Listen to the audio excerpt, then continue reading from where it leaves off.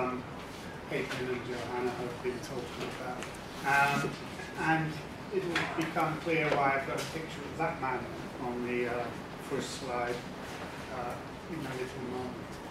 Okay.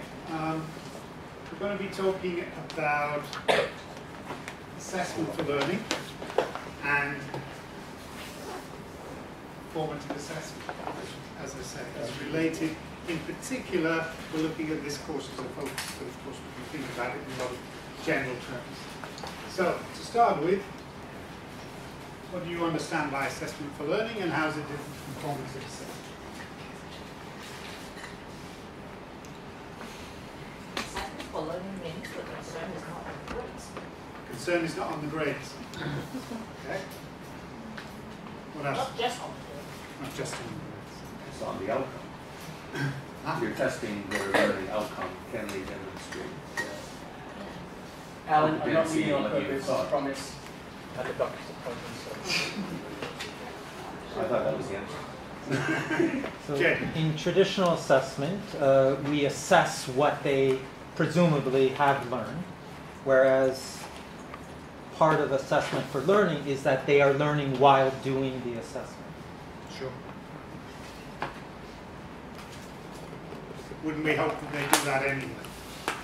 Well, if they presumably already learned something and then they're assessed on it, then they have during the assessment they are not necessarily learning anything new. They're just showing that they've learned it. Whereas there are some assessments where they're actually learning skills and learning knowledge through the assessment process.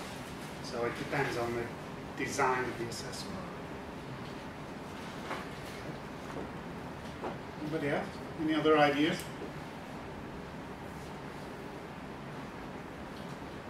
Okay. Um, a quote here from Davidson. Talk about an assessment of learning culture. Um, where formative and summative assessments are distinctly different. And this seems to be what Jay was talking about. That you have formative assessments and you can have summative assessment. Um, teacher and the assessor roles are clearly demarcated, but in assessment for learning culture, even summative assessments can be formative. to give constructive student feedback and, and improve learning. Naturally, timing here is, is really important. Um, a lot of the assessments we do, particularly if they come right at the end of a, if it's a summative assessment and it comes right at the end of a, course or, or a period of teaching, then you have no time to give feedback to students based on that summative assessment. So we're looking at being able to use what we might call summative assessments formally.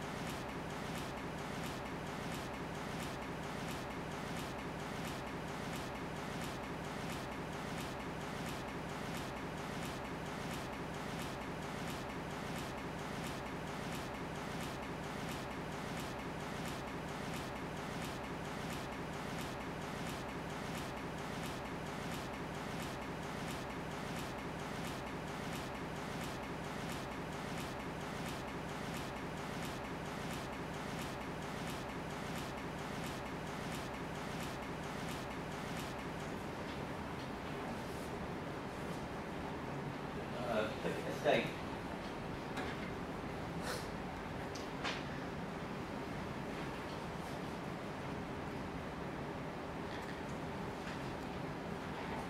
essentially it's about changing, he talked about changing, essentially changing the way we teach. And I think what the first part of the session today was, was really a, a big part of that, changing the way that we teach our students by moving the, moving the space, you know, having them do stuff outside of class before they come to class. And not just read this article and come to class, but the kind of activities that, um, I can see a bit more all around the world. We did huge changes. Um, but if we, our courses are, are assessment heavy, as we said, um, very much a summative or an assessment of learning indeed we hope it's more of an assessment for learning culture. Um, what I like to think about is David Carless, what he calls learning-oriented assessment. Because assessment makes the biggest part of our courses. And basically we're, we're geared to helping students achieve the learning outcomes and we are only able to tell whether they've achieved those by um, assessing and providing them with valid assessments to show that they can demonstrate their skills. What he called learning-oriented assessment includes both summative and formative assessment, as we looked at earlier. Summative assessment is learner, learning-oriented, and it can direct students to concentrate on developing their, their understanding of the content, and cultivating key intellectual and generic skills. That's making good use of summative assessments, which I think is what we try and do here in, in the ELC, particularly when the, those assessments come in the middle of the semester. Then you've got time after that, through feedback, to help improve students' skills and make it learning oriented. Formative assessment is always learning oriented, by definition. And it can take many forms. One of our challenges is to design summative assessments so that it performs a formative function. And they modelled this, and this as uh, academics like to do, they like to draw models. To achieve your desired learning outcomes, you want the students to be self-evaluators, that's really important, to be able to evaluate their own skills, and they're only going to be able to do that by, with your help as teachers. Um, the assessment tasks are learning tasks, not simply designed to measure their abilities, but also that they should be learning while we're doing them, and what they call feedback is feed forward. Feedback they receive from the assessment tasks that they do, they can then feed forward into um, either the next assessment task or into the, the work that they have to do. Um, in our case, the work that they have to do through English in their university studies. So how does that relate to course that we've been talking about today? English for Scientific Communication. When we think about the learning outcomes, the learning outcomes in all our courses come in, uh, explained in this document that we give to the students. The learning outcomes for this course, as you have seen already, it's about writing scientific reports critique and synthesize sources in scientific and technical articles and reports, and report scientific information in writing to different audiences. And I think it's the second part is, is the key, and those are the things really that are assessed in a sense. In fact, both of them are. There are two assessments. Assessment one, writing, is writing a scientific report for specialists. So if you can see the instructions there. Is, and uh, as my colleague said earlier, this is a group report. You can see all the instructions here, 1500 words, they work in groups three or four. Um, it's a report for specialists, they choose a topic of their own interest. Um, they have to research it, they have to plan their report. Um, it, it involves out of class desk and library research, reading articles, and then it outlines the schedule, if you like. By week three, submit to the teacher group proposal. By week six, submit a first draft. By week seven, attend a tutorial with the teacher who gives feedback and comments. Feedback. Doesn't give the teacher long, does it? They're submitting week six and they've got to get the feedback to them in week seven, right? And then they have to submit the final review report in week. Pretty tight schedule. And that's 50% of the grade.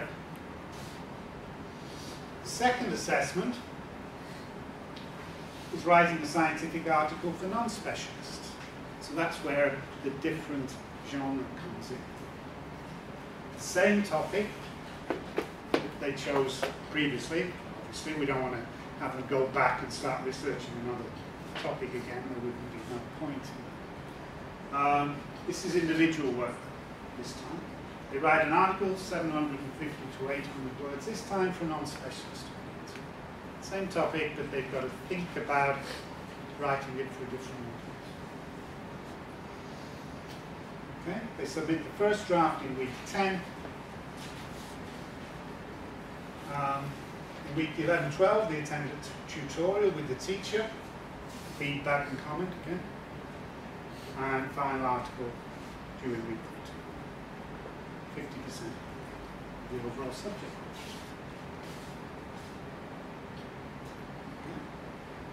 So we assess those with rubrics. I'm not going to come to a, one of my presentations and not have rubrics in it somewhere. I spent the last two years working on it. Um, so we have separate rubrics for the two separate um, assessments.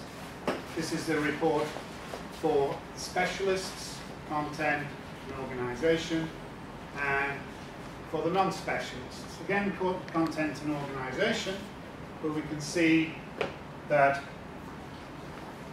criteria differ to a certain extent, particularly for content. Um, for the scientific report, evidence of very thorough research, extensive use of appropriate and up-to-date sources. For the non-specialist audience, a wide range of strategies to make the, the article interesting and relevant to the reader. For language and academic writing conventions, okay. Particularly in the conventions, that's going to be different. It's a different kind of writing.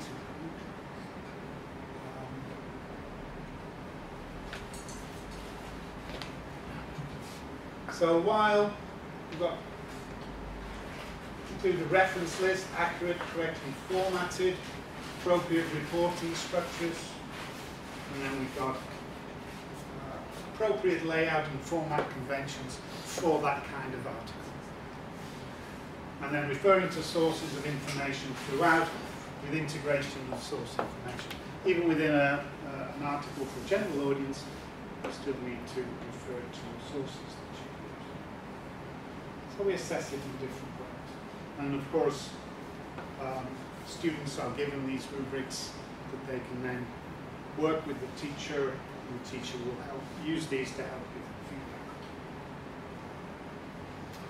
feedback. Okay. So thinking about that, Carless uh, et al. Um, came up with what they thought were a list of nine skills. Assessment for learning skills. Research. Which should be employed when they're, when they're, while they're actually doing the assessment. If they're going to be learning from it. Researching, higher order thinking, communication using technology communicating orally or in writing, working in teams, evaluating peers, learning autonomously, evaluating oneself, processing and acting on feedback. Okay. All good? Okay, so what I want you to do, based on the information that you've got, and that's in your handout there, which is the, the subject and the assessment task information, plus if you add in what Caitlin and Johanna were talking about earlier about how they've flipped some of the content and some of the activities during the course, can you identify the assessment for learning skills that students would need to employ or need to engage in throughout the process of doing both assessments? Because you can see on a weekly basis they have to do this, then they have to submit a draft, then they get feedback and so on. So in the handout, what I've done is, uh, middle two pages, is then you've got the instruction, the task instructions, and then for each of the assessment for learning skills, see then if you can go back to the task instructions, see, okay, yes, at this stage, then they're engaging in that skill. Or if it's not so obvious, say, well, they could be doing this. Let's see if we've got all bases covered in terms of the, the way that the course runs in relation to the assessment. Why don't you work together in groups? Although I've given you an individual sheet, I know, that's just for you to jot down notes. I don't want you to work your own. You know, somebody their aims own. and objectives. We'll go back again. On to the, yeah, each member. Higher order thinking, what do we think? How do you define higher order thinking? What is it? Aims and objectives. Yeah. Synthesizing and evaluating. In what way? When they're doing research, they need to. Yeah. Yeah. They need to look for uh, sources of information which they think are relevant to their topic, maybe even when they're choosing their topic. Communicating using technology. I think as Adam said, this was 13 years ago when they wrote this, so I mean it's, it's part, of, part of life. And I think most, most people, particularly young people, only communicate through. They don't communicate in any other form. Um, so we have to get used to that. And the other, the flip side, communicating orally in writing. In this assessments, in this course, um, how much of that goes on, communicating orally between the students? Presumably when they're, work, they're working their groups in the class. right, in this assessment. So they're doing that. This kind of applies to uh, some of the points, but in um, assessment for learning, there's presumably um, that formative aspect where students get some kind of feedback, and but in things like communicating orally, where it's not directly a product, um, I wonder how many of these points they actually get feedback on. They experience it; it it's kind of ex- experiential learning, teamwork, but do they actually get a sense of are they doing better or what can they do to improve? That's not necessarily embedded in that, is it? No, no. Um, particularly, I guess, in this, in communicating orally, they're not assessed when they're speaking in this, in this course at all. So, in that sense, there's no formal or summative assessment of their speaking. Although, as teachers, we we engage in formative assessment all the time in our classes. Right? And that's why Dylan and Wiliam talked about questioning techniques. When we're questioning students, we're assessing them. Right? You're assessing on their ability, whether they, they understand the content perhaps, how their speaking ability is, and then that, that's, then you're making decisions as a teacher. Um, it applies possibly more to uh, secondary or even primary level, where you're seeing students every day and you see them grow up. We see our kids for three, 13 weeks it's difficult then to make those assessment decisions. And by the time you get to know the students as people, they can't. That's the hard part. But I think in terms of communicating orally and in writing to a certain extent with the students and between the students, then it's, it's assessment and it's learning, although it may not be directly associated with the grades that they get at the end of the course. Does that make sense? Yeah, I, I guess I was focused on opportunities for feedback, which you mentioned can arise incidentally as they're dis- discussing, talking. Sure, sure, sure. Uh, and feedback comes towards the end, isn't it? And they're working in teams. The first of the assessments is the group assessment. That has its problems, doesn't it? As uh, Caitlin pointed out, this, this free rider thing, which uh, seems to be an obsession of uh, our university. And this idea that possibly getting students working in groups just makes it easier for the teacher to mark it. They got one report from five students to mark instead of five reports.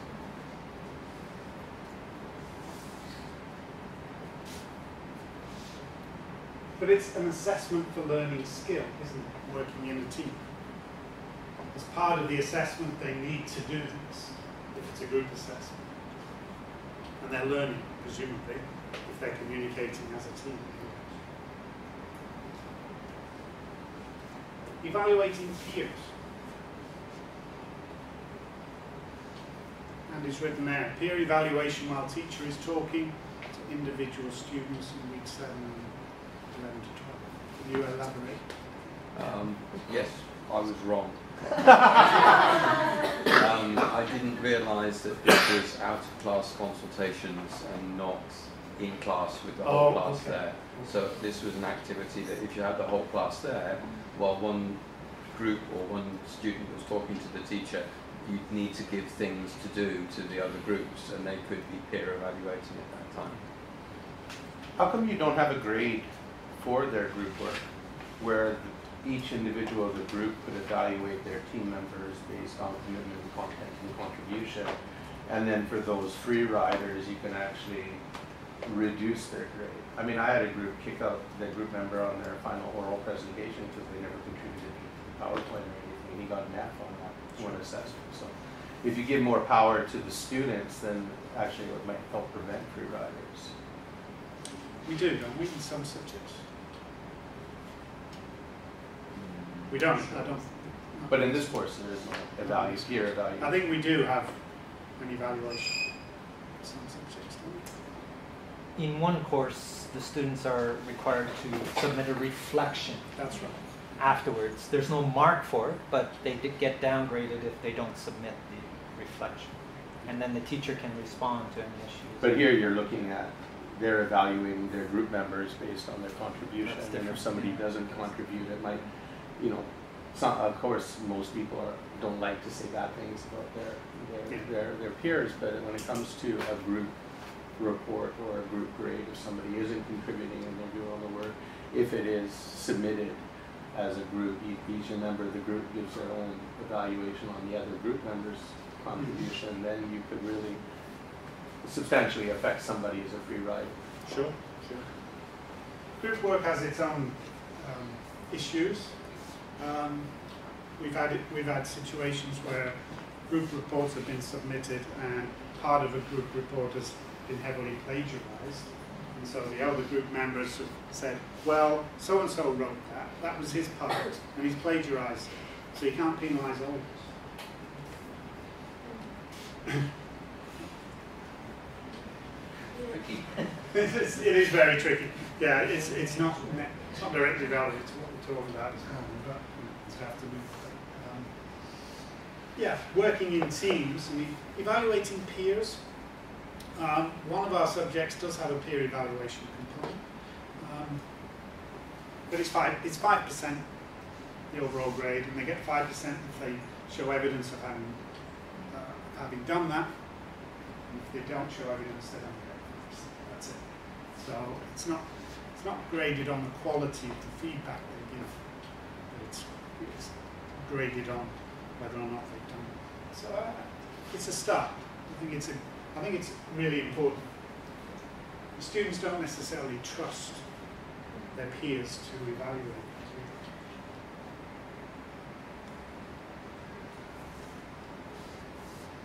But then, it, then it comes back to this to the whole process.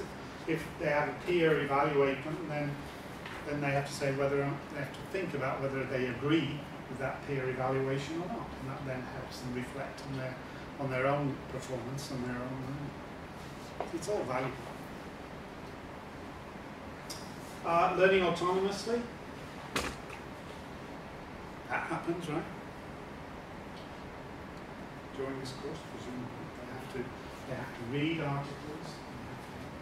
Um, they have to think about how they approach this particular course this particular assessment. Evaluating oneself. Are they doing that?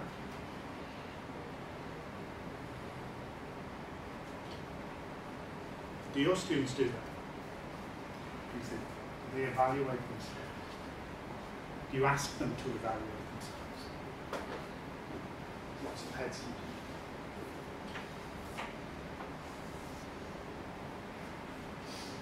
And processing and acting on feedback. I think that's one of the good things here, isn't it? Um, it's built into the into the course. They submit a first draft, and then they get feedback. The group attends a tutorial with the teacher, so that's where the feedback comes in, and then they can act on that. Not don't have a lot of time, but they can act on that then to improve their um, improve their draft. What happens here? They submit their first draft. You then give written feedback on their first draft? Yeah. And you meet them group. So they get lots of feedback, which then they can then act on. We do that in a number of courses as well. Do you do that a lot in your courses? You have students submitting drafts and giving them feedback.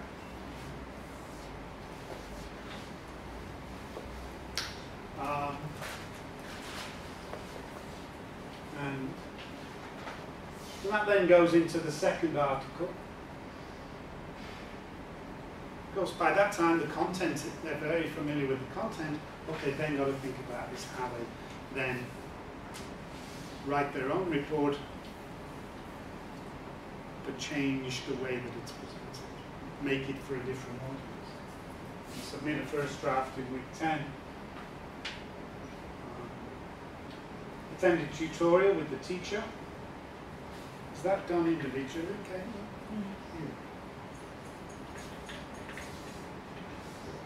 give feedback and comments to improve their writing. So there's a, there's a lot of processing going on here. isn't there? There's a lot of there's a lot of dare I say assessment for learning, which is great. And it's great we chose this subject for, for talking about.